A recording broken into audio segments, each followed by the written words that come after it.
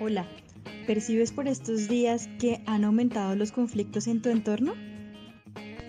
En este video compartiremos como equipo de psicología del Poli estrategias para convivir de manera saludable con el entorno.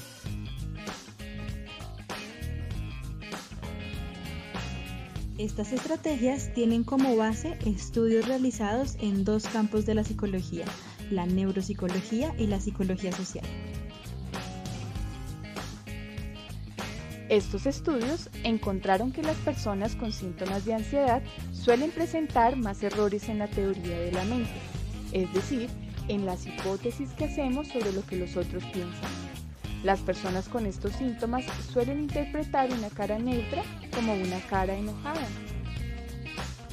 Por su parte, las personas con síntomas de depresión requieren una intensidad mayor de expresión de felicidad para reconocerla y menos intensidad en las emociones tristes y enojadas.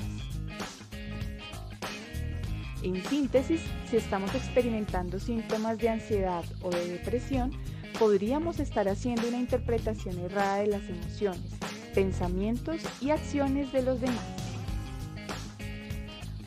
Por lo tanto, no debemos creer del todo en nuestras percepciones. Pero, ¿qué debemos hacer para evitar que esta forma de interpretación genere conflictos con otros? Primero, pregunta cuando te inquiete o desees saber qué piensa el otro sobre un tema o sí. La clave es la comunicación, pero ¿cómo comunicarnos? Haz uso de operantes verbales denominados tactos y mandos. Desde los mandos pides o sugieres algo que necesitas. Desde los tactos las peticiones son indirectas y poco claras para el otro, por lo tanto facilitan las inferencias, las cuales ya dijimos debemos evitar. Así, para favorecer una comunicación constructiva, puedes realizar las siguientes acciones. Primero, identifica qué operante verbal sueles usar. Ello implica un automonitoreo. Incorpora en tu repertorio más mandos que tactos y si usas tactos asegúrate que el mensaje llega como quieres. Para esto puedes preguntar qué se comprendió de lo que expresaste. Practica esto día a día y en cada conversación.